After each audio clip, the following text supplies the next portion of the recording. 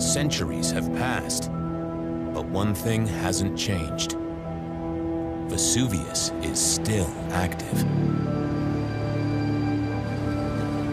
Driven by a geological collision that has been shaping this part of Italy for millions of years. To the east of Naples, two of the planet's vast tectonic plates are crashing into each other.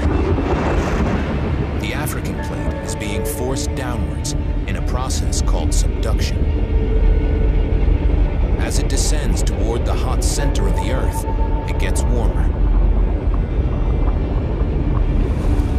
This causes rocks to melt and turn into liquid magma, which rises towards the surface.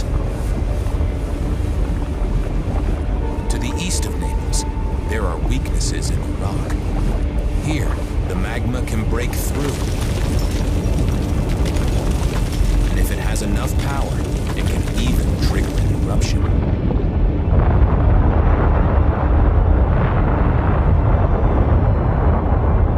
It's this constant subduction which keeps Vesuvius active and fuels its eruptions.